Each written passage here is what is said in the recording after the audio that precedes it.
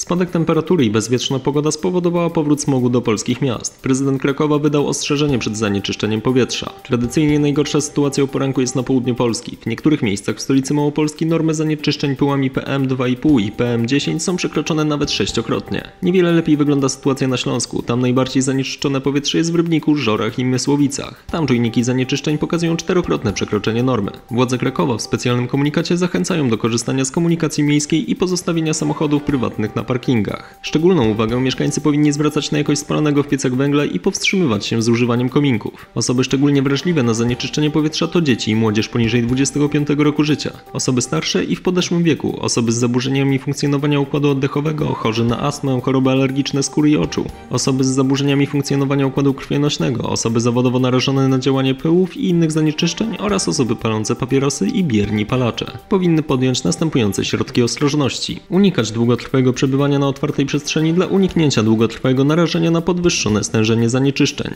Ograniczyć duży wysiłek fizyczny na otwartej przestrzeni, np. uprawianie sportu, czynności zawodowe zwiększające narażenie na działanie zanieczyszczeń. Osoby chore powinny zaopatrzyć się we właściwe medykamenty i stosować się do zaleceń lekarzy. Czy zamierzasz przestrzegać zaleceń władz? A może w Twoim mieście problem smogu nie występuje? Daj znać w komentarzu. Jeśli chcesz dowiedzieć się, jakie zagrożenia niesie ze sobą smog, to sprawdź film, który właśnie Ci wyświetliłem. Cześć!